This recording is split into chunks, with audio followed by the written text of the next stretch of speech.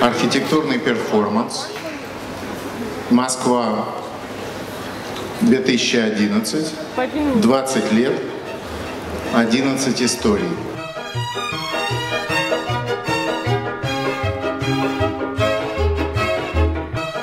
Основатель города Юрий Долгорукий.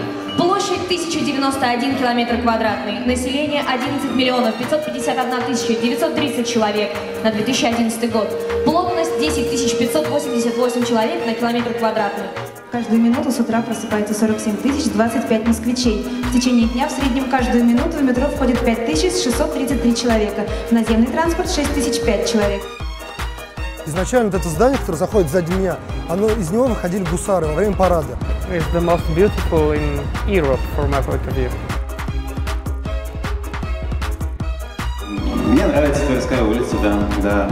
Еще люблю Камергерский переулок, да. Ну, что, в общем, не оригинально, конечно, да. Здесь действительно ощущается дух Москвы. Тут находится Макдак, это главное. Должна быть возведена, я думаю, новая гостиница, возможно. Какой-нибудь торговый центр до 100% построят. Прозрачный. Ладно, не, не бутики вот эти вот дорогие, а именно для простого народа торговые ряды. Как знать, может, разрушив самую большую гостиницу, нам стоит сохранить самую большую рекламу.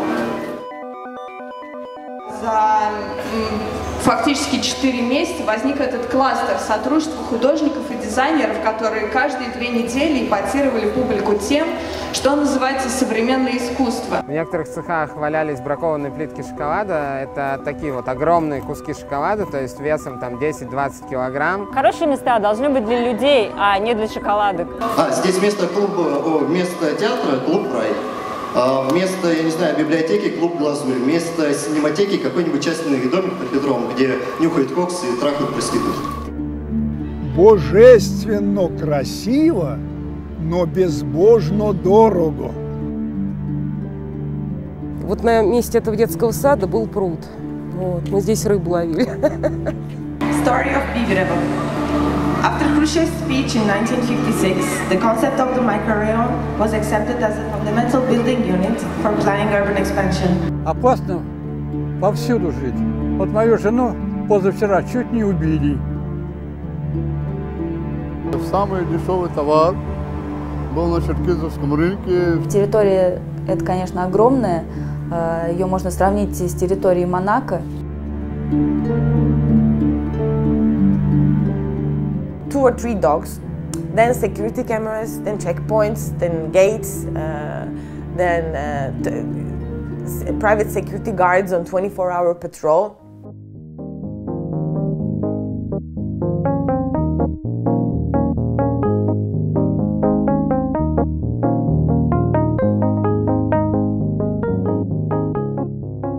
Москва – это бомжи.